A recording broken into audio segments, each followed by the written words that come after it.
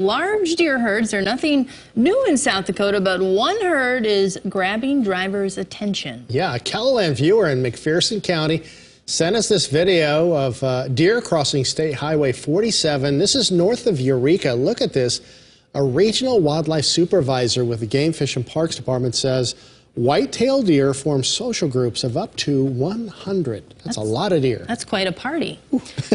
And a KELOLAND.com original digital reporter Eric Mayer looks into the GFP's wildlife management and recent breakdowns of deer populations in South Dakota.